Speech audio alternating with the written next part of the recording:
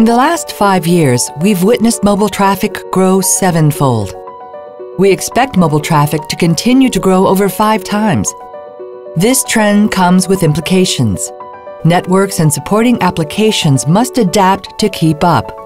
To provide valuable network services and supporting applications, the telecom industry requires innovative and sophisticated technologies that operate at the edge. What if we could reduce the implementation time of operating at the edge from one year or more to a fraction of that time? The vision of Telecom SaaS is to offer a solution for a secure, orchestrated network through applications that are programmable, AI ML enabled, and most of all, available on demand. To achieve a network that is available on demand, software as a service must be incorporated SaaS is the acceleration engine to realize the full potential of 5G and beyond. It reduces complexity and provides the business and technical agility required to support current needs and provide valuable services.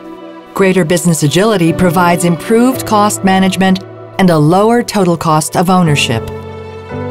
Technical agility enables communication service providers to focus on innovation and not on integration embracing future technology, and managing network-oriented workloads. Curious on how to start the journey? Talk to our experts.